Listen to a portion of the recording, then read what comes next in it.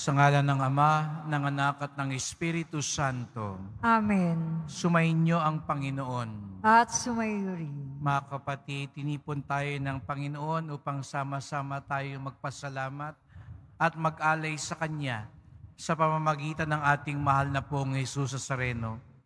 Hilingin natin na tayo ay laging makakilala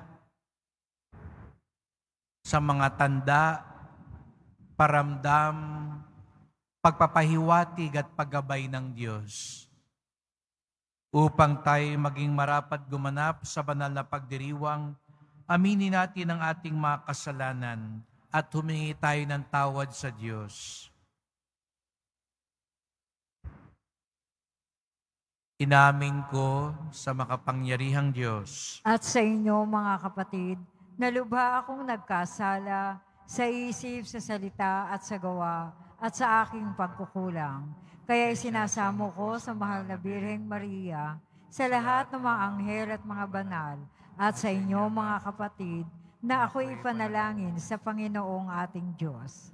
Kawan tayo ng makapangyarihang Diyos, patawarin tayo sa ating mga kasalanan, at patnubayan tayo sa buhay na walang hanggan. Amen. Panginoon, kaawaan mo kami. Panginoon, kaawaan mo kami. Kristo, kaawaan mo kami. Kristo, kaawaan mo kami. Panginoon, kaawaan mo kami. Panginoon, kaawaan mo kami. Manalangin tayo. Ama naming makapangyarihan, ang kadakilaan mo'y nangingibabaw sa hanay ng mga tanang banal. Ipagkalomong ikagalak namin ang paggunita taon-taon kay Papa San Clemente na pari at martir ng anak mo. Yamang kanyang pinanindigan ang paghahaing ginanap niya sa iyo at kanyang pinatunayan sa buhay ang itinuro niya sa mga tao. Sa pamamagitan ni Kristo, kasama ng Espiritu Santo, magpasawalang hanggan. Amen. Magsiupo ang lahat. Pagbasa mula sa unang aklat ng Makabeyo. Noong mga araw na iyon, ang mga kanang kamay ng hari na inatasang pilitin ang mga taong sumamba sa mga Diyos-Diyosan ay nagtungo sa lungsod ng Muden upang utusan ang mga taga na maghandog sa mga dambanang pagano. Maraming Israelita ang lumapit at nagtipon-tipon sa paligid nila. Naroon din si Matateas at ang lima niyang anak. Nilapitan si Matateas ng mga kinatawan ng hari at sinabi, ikaw ay pinunong iginagalang dito at sinusunod ng iyong mga kaanak. Manguna ka sa pagsunod ng sa pagtupad sa utos ng hari, gaya ng ginawa ng mga hentil at ibang mga taga-Hodea at Jerusalem. Gawin mo lamang ito at tiyak na papapamahal ka sa hari pati ng iyong mga anak at gagantimpala ang kanya ng pilak, ginto at iba pang kaloob. Ngunit malakas na sumagot si Matateas.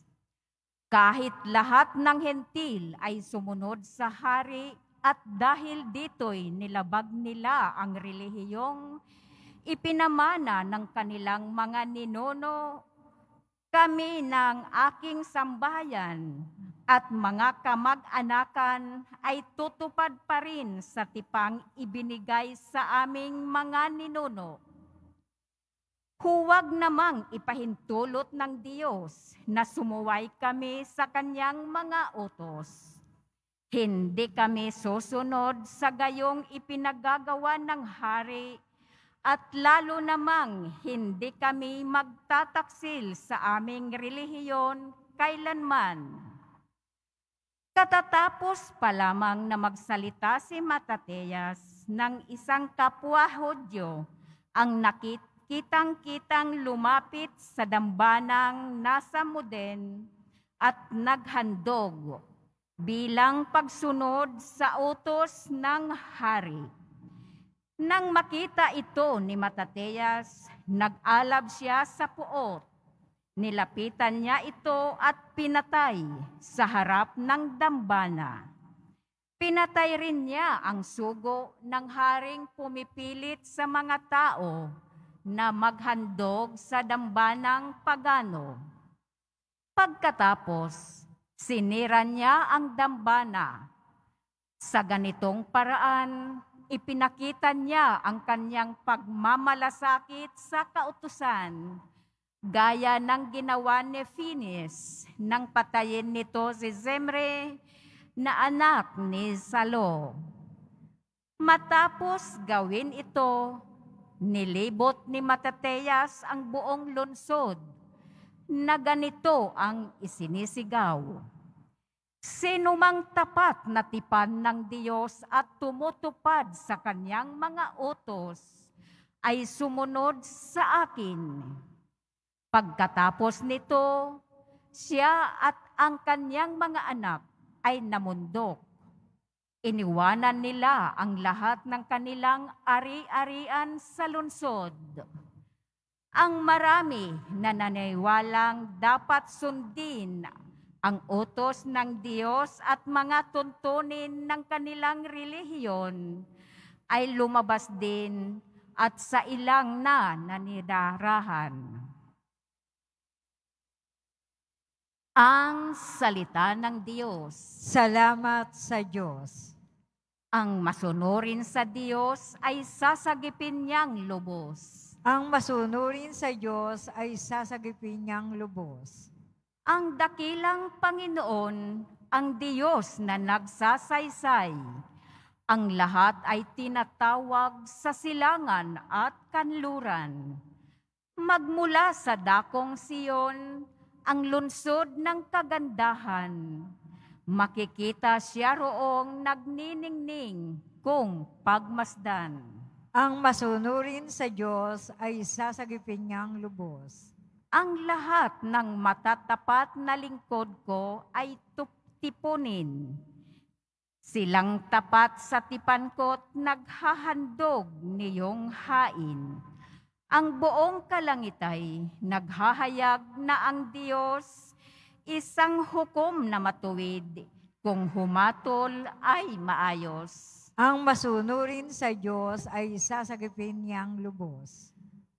Ang ihandog ninyo sa Diyos at ang inyong pasalamat. Ang pangakong handog ninyo ay tuparin ninyong lahat.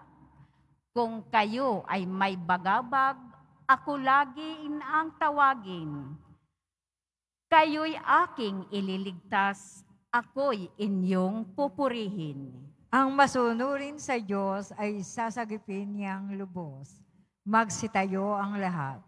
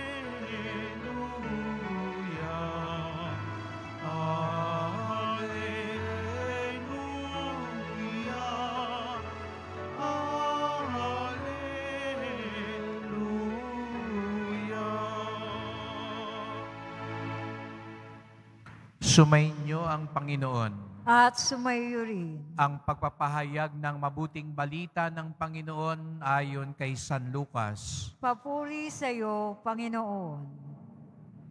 Noong panahong yon, nang malapit na si Jesus sa Jerusalem at matanaw niya ang lungsod, ito'y kanyang tinangisan.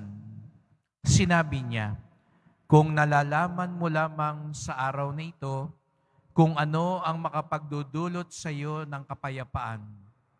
Ngunit lingid ito ngayon sa iyong paningin, sapagkat darating ang mga araw na paliligiran ka ng kuta ng iyong mga kaaway. Kukubkubing ka at gigipitin sa magkakabila.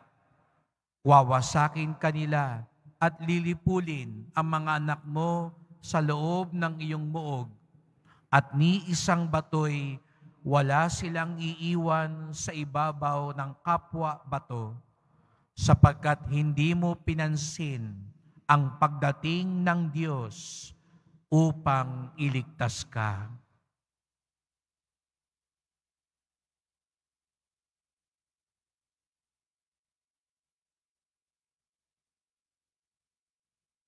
Ang mabuting balita ng ating kaligtasan. Pinupuri ka namin, Panginoong Heso Kristo. Magsiupo ang lahat. Magandang umaga po sa inyong lahat at maligayang pagdating sa tahanan ng ating mahal na pong Jesus sa Sareno. Binabati din natin ang nasa online, lalo na mga may sakit at nag-aalaga sa may sakit at mga kababayan, kadeboto natin mula sa iba't ibang panig ng bansa at daigdig na nais sumama sa misa dito sa ating sa Quiapo, sa Basilica Minor at pambansang dambana ni Jesus Nazareno. Kailan ka huling umiyak? Kailan ka huli tumangis? Lahat tayo dumadaan sa ganitong yugto sa ating buhay. Ang mapaluha at tumangis.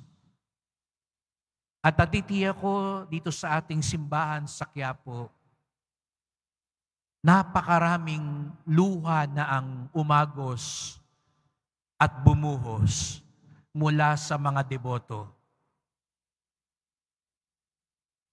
Tumingin lang kay Jesus sa Sareno, ay napapaluha na, tumatangis na. Ngunit tanongin din natin ang ating mga sarili, ano ang dahilan ng ating pagtangis, pag-iyak, at pagluha? Natitiyak ko maraming pagkakataon ding tumangis si Jesus sa Sareno. Ngunit sa Ebanghelyo, dalawa lang ang isinulat na para bagang gustong sabihin, ito ay napakahalaga sa puso ni Jesus.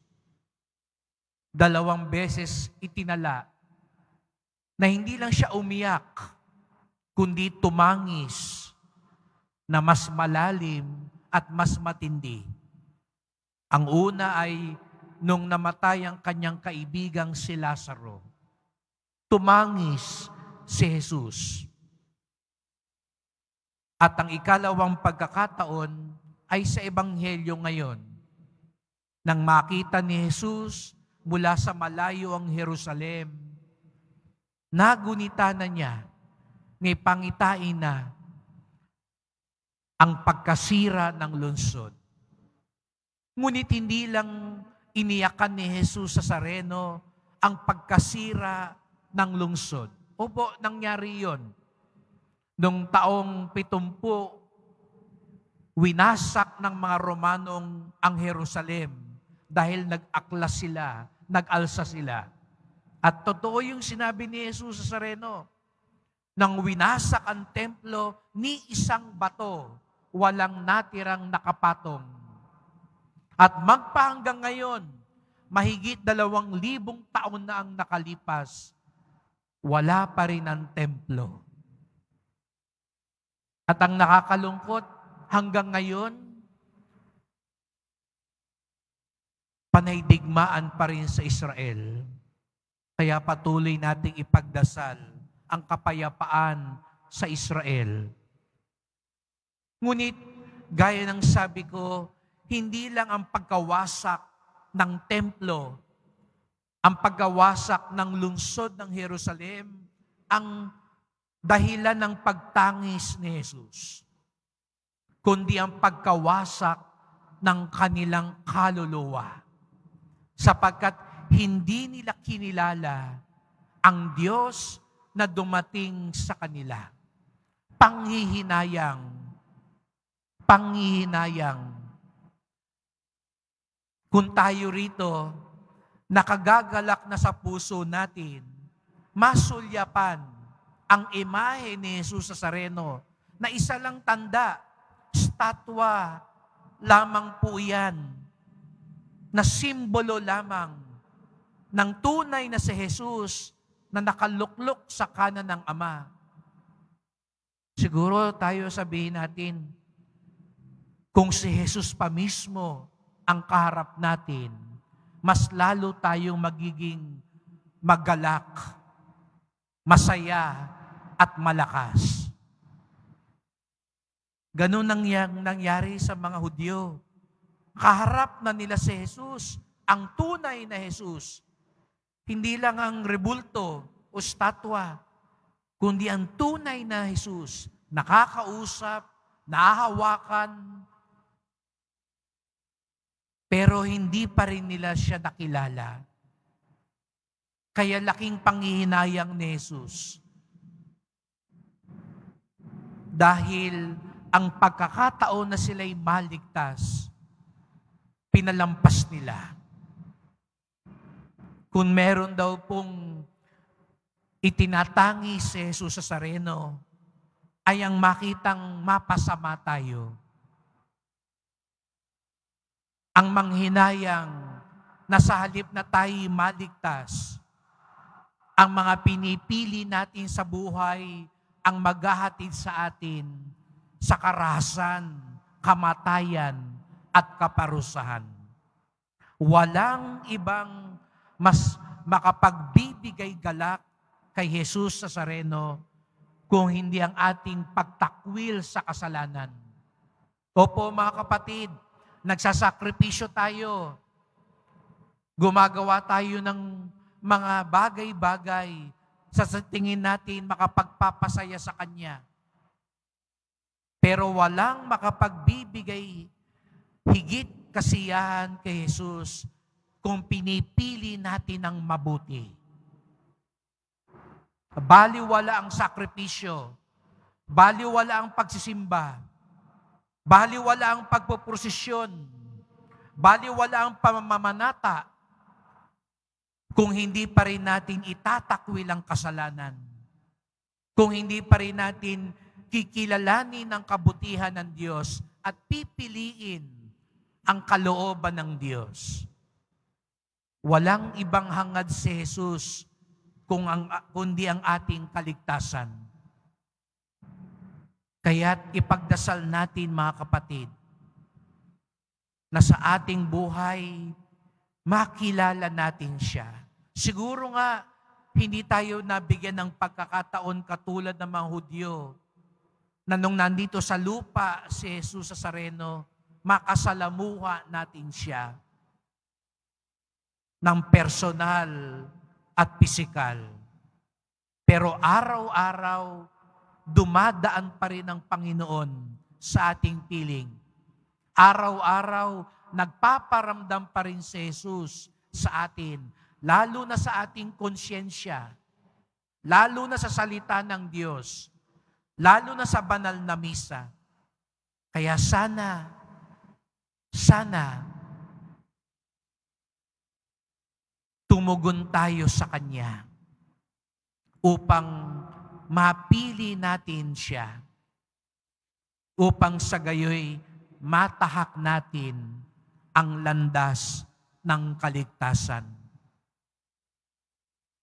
Nalulungkot si Jesus kapag hinahayaan nating mamayagpag ang kasalanan sa atin at sa paligid natin.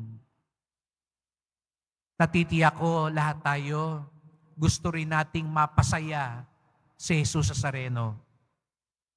Kung gusto din natin siyang sumaya at magalak, tulungan natin na mawala ang kasalanan sa ating puso at sa ating paligid.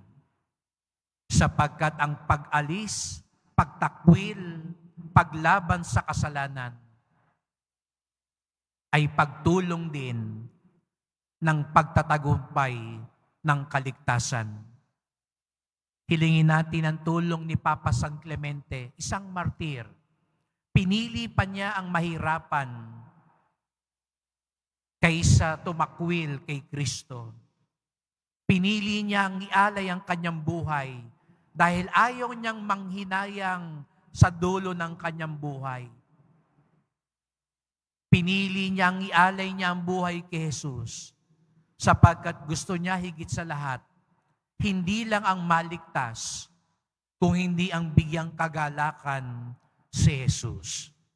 Nawa, katulad ni Papa San Clemente at ng mga banal na ngayon ay nasa langit, tayo din maging dahilan hindi ng pagkahapis at pagtangis ni Jesus.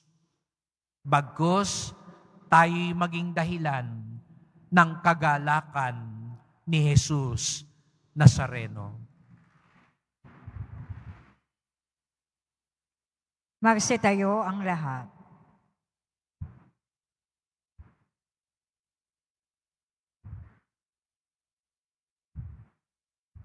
Mga kapatid, ipanalangin natin ang ating mga pangangailangan bilang bahagi ng ating paglalakbay sa pananampalataya, bilang pagsunod kay Kristo patungo sa walang hanggang Jerusalem.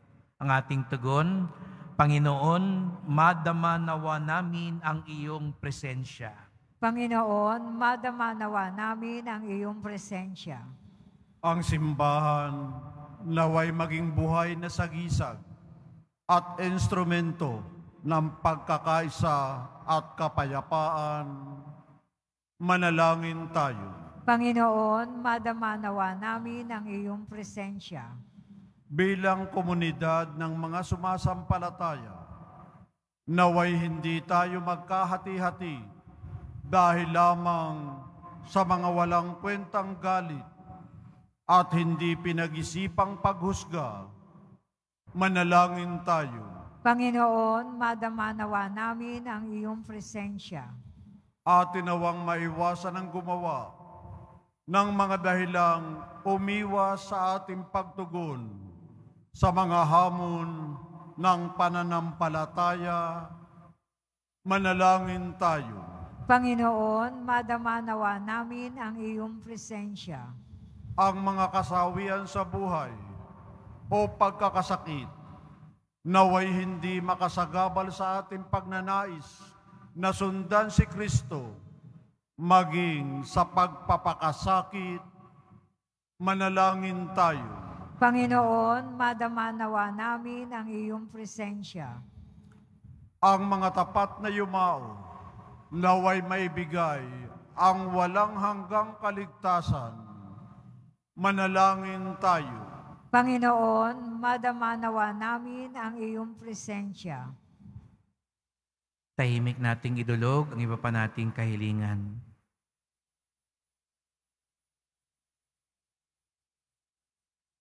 Ama naming Diyos, huwag nawa kaming umatras o mag-atubiling lumakad ng pasulong sa paglalakbay tungo sa iyong kaharian. Hiling namin ito sa ngalan ni Kristong aming Panginoon. Amen. Magsiupo ang lahat. Itong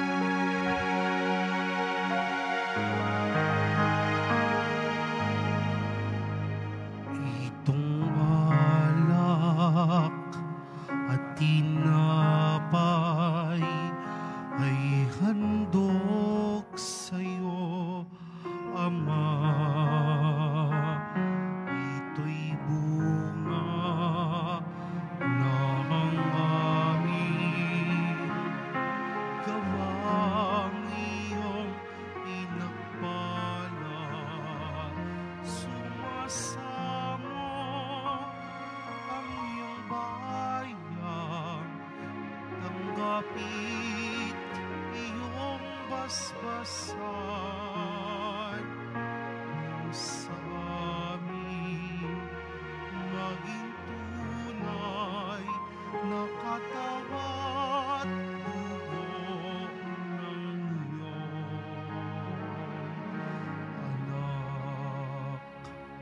Magsitayo ang lahat. Manalangin kayo mga kapatid upang ating paghahain ay kalugdan ng Diyos amang makapangyarihan. Tanggapin nawa ng Panginoon itong pag-aahin sa iyong mga kamay, sa kapurihan niya at karangalan, sa ating kapakinabangan at sa buong sambayan niyang banal. Ama naming lumikha, pakabanalin mo at basbasa ng mga alay na nakahanda upang ang paalabin nito ang aming diwa sa ningas ng pag-ibig mo na nagdulot ng tagumpay sa pagpapakasakit ni San Clemente sa pamamagitan ni Yesu Kristo kasama ng Espiritu Santo magpasawalang hanggan. Amen.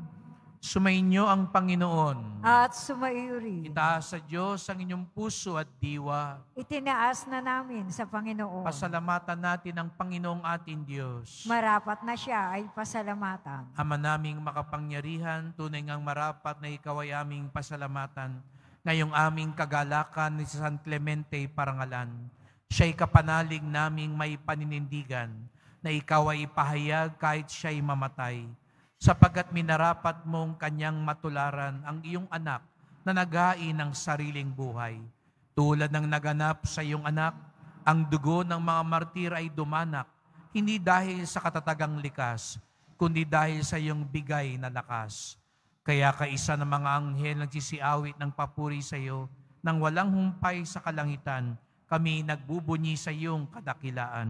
Santo, Santo, Santo, Panginoon Diyos ng mga hukbo, napupuno ang langit at lupa ng kadakilaan mo. O sana sa kaitaasan, pinagpala ang naparirito sa ngalan ng Panginoon. O sana sa kaitaasan, magsiluhod ang lahat.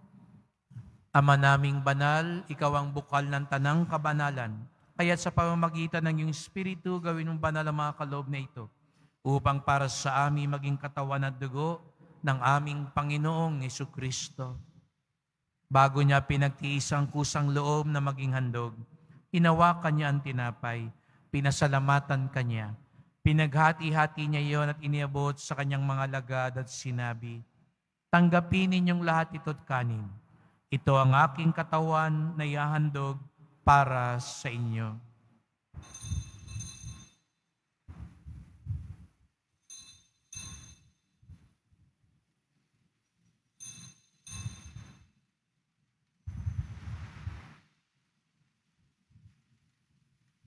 Gayon din naman nang matapos ang hapunan, hinawakan niya ang kalis.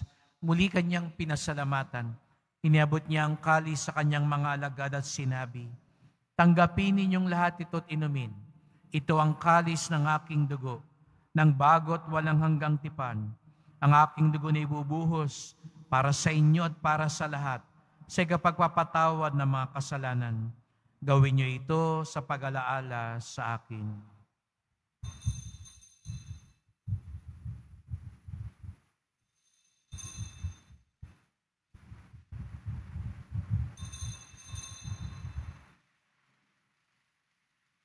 Magsitayo ang lahat.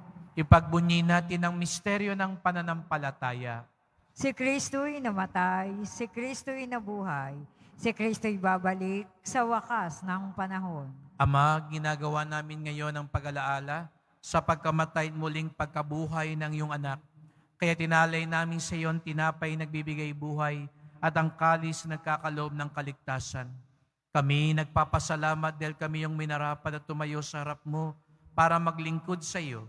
Isinasamo namin kaming magsalo-salo sa katawan at dugo ni Kristo'y mabuklod sa pagkakaisa sa pamamagitan ng Espiritu Santo.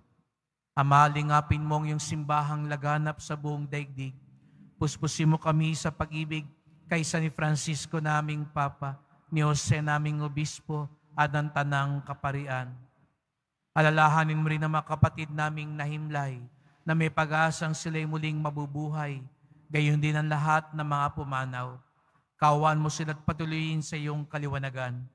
Kawan mo pagindapating kaming lahat na makasalo sa iyong buhay na walang wakas. Kaisa ng mahal na biring Maria, Ina ng Diyos, ng kabiyak niyang pusong si San Jose, ng mga apostol, San Juan Bautista, San Clemente, at lahat ng mga banal na namuhay dito sa daigdig ng kalugod-lugod sa iyo. May pagdiwang nawa namin ng pagpupuri sa ikararangal mo sa pamamagitan ng iyong anak, na aming Panginoong Yesu Kristo. Sa pamamagitan ni Kristo, kasama niya sa Kanya, ang lahat ng parangal at papuri sa iyo, Diyos amang makapangyarihan, kasama ng Espiritu Santo, magpasawalang hanggan. Amen. Sama-sama tayong tumawag sa ating Ama sa Langit. Ama Ah, namin, sum- sumasalangit ka. Sambahin ang ngalan mo.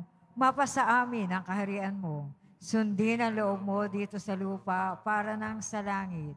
Bigyan mo kami ngayon ng aming kakanin sa araw-araw at patawarin mo kami sa aming mga sala para ng pagpapatawad namin sa nagkakasala sa amin.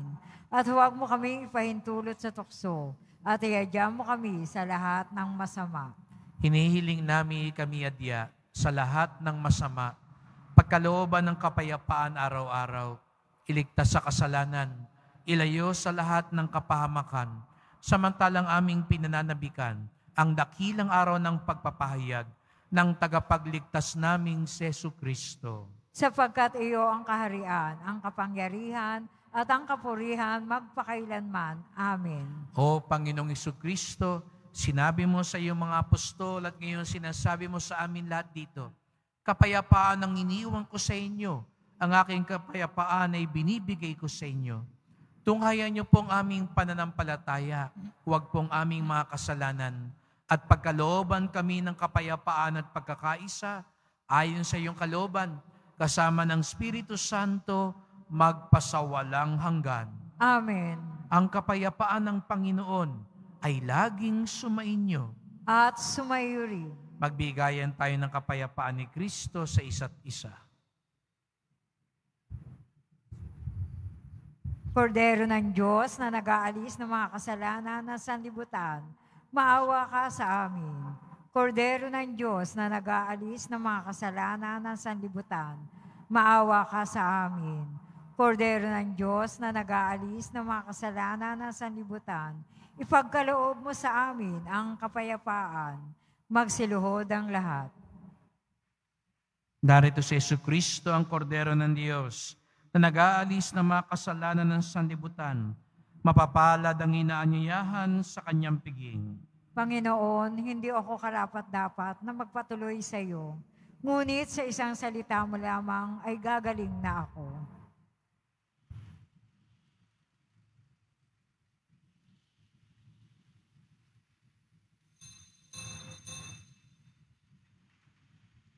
Para sa lahat ng tatanggap ng banal na communion, sasagot po tayo ng amen. Pagkasabi ng pari o lay minister ng katawan ni Kristo, at isubo agad sa bibig bago umalis sa harapan ng pari o lay minister. Sumunod po tayo. Maraming salamat po.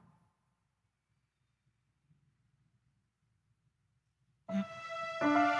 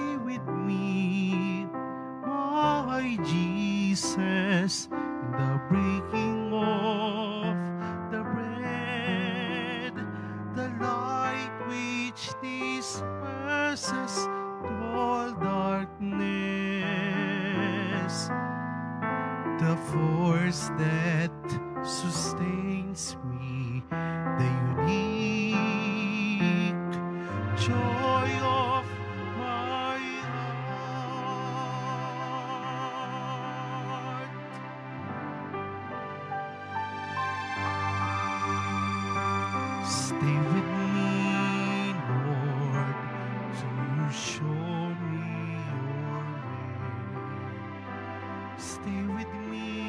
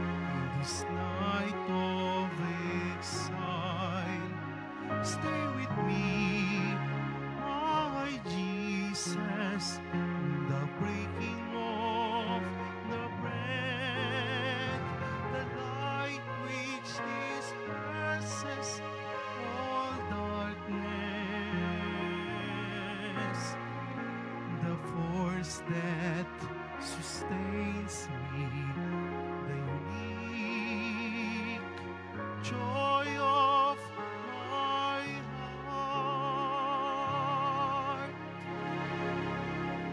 Announcement. Available na po ang opisyal na kalendaryo para sa taong 2024 ng ating parokya. Sa mga nagnanais bumili, maaari kayong magtungo sa ating parish office. Ito po ay nagkakahalaga ng 80 pesos. May karagdagan discount sa back orders. Pagkatapos ng misa, wiwisikan po ang lahat ng banal na tubig. Pinakikiusapan ang lahat na manatili lamang muna sa inyong mga lugar. Tanging sa Quezon Boulevard o sa Plaza San Juan lamang ang labasan ng lahat. Sumunod po tayo. Maraming salamat po sa inyong pagdalaw at pagsisimba sa Basilica Menor at Pambansang Dambana ni Jesus Nazareno. Magsitayo po ang lahat. Manalangin tayo. Ama naming mapagmahal, ang tinanggap naming banal na pakikinabang ay makapagdulot nawa sa amin ng katatagan na nagkaloob ng katapatan sa paglingkod at tagumpay sa pagtitiis ng pagsubok sa iyong martir na si San Clemente sa pamamagitan ni Yesu Kristo kasama ng Espiritu Santo magpasawalang hanggan. Amen. Patuloy natin ipagdasal ang mga mahal nating yumao, lalo na po ang pinagkatiwala ninyong ipagdasal dito sa Quiapo. Panginoon namin Diyos, Ama namin, Ikaw po ang dahilan ng aming pagsilang. Sa iyo galing ang aming hiram na buhay. Buong kababaang loob po kaming nananalangin at kami nagmamakaawang kalugdan mo po ang mga kaluluwa ng mga pumanaw na sa mundong ito. Sila naway magkamit ng buhay sa iyong piling. Alisin mo ang anumang mga karumihan ng kasalanan upang sila'y maging marapat sa iyong walang hanggang kalinisan. Iahon mo sila sa purgatorio at bigyan ng puwang sa iyong kaharian sa langit. Kapayapaan kailanman ang igawad ng may kapal sa mga yumaong nagsipanaw. Sila naway silayan ng iyong ilaw na walang hanggan. Amen. Mapanatag nawa sila sa kapayapaan. Amen.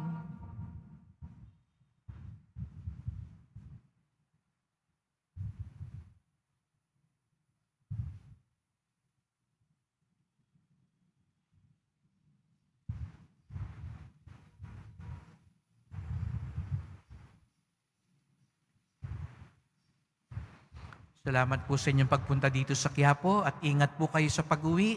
Salamat po sa mga naglingkod sa misa at sa inyong tulong sa simbahan. mga pamisa, love offerings, online donations, sa mga tumutulong po sa pagpapaayos, paglilinis ng ating simbahan. Salamat po at sana po marami pa rin ang tumulong bilang paghahanda sa kapistahan at deklarasyon bilang pambansang dambana. At sa mga nagdadala rin po ng bigas, dilata, noodles, at iba pang pang-ayuda. Ang ating debosyon sa poong Nazareno ay nagtuturo sa atin magmalasakit sa ating kapwa. Ang tunay na makapagbibigay kagalakan kay Jesus Nazareno ay ang pagkilala natin sa Kanya at pagpili ng mabuti sa ating buhay. Walang ibang hangad si Jesus Nazareno kung hindi ang ating kaligtasan. Sumainyo ang Panginoon. At sumili. Mahal na pong Jesus Nazareno, inihayag mo sa pamamagitan ng krus ang walang maliw na pag-ibig ng Diyos sa sangkatauhan. Pakinggan mo ang kahilingan ng iyong angka na nagsusumamo sa iyo. Makamtanawa nilang iyong katugunan at tanggapin ang kasagutan ng may utang na loob na tinatanaw. Basbasan din po ninyo ang dala nilang mga imahin at dasalan sa pamamagitan ng bendisyon na ito. Naway maalanan nila mga pangako sa binyag na ikaw ang kanilang iibigin at paglilingkuran bilang Panginoon magpasawalang hanggan Amen. at pagpalaing kayong lahat ng makapangyarihang Diyos, Ama, Anak, at Espiritu Santo. Amen. Pumayo kayong taglayang pag-ibig ng pong Jesus Nazareno. Salamat sa Diyos.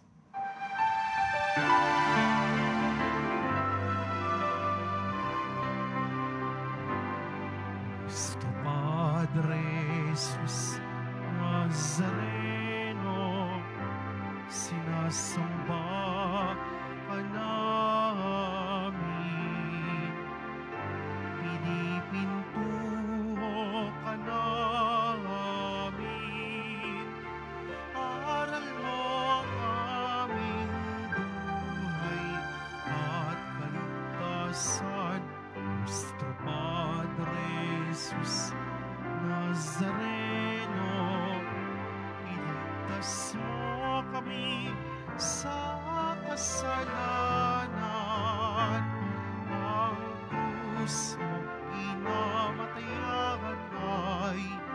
Sa isag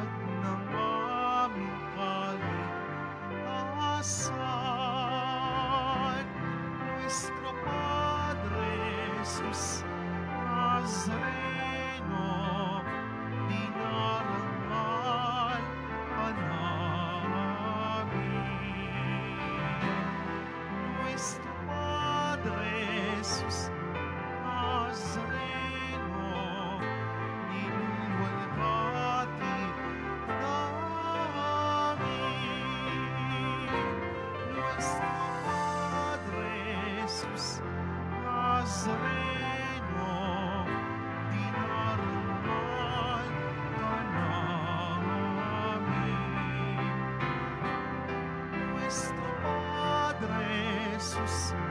Nazareno,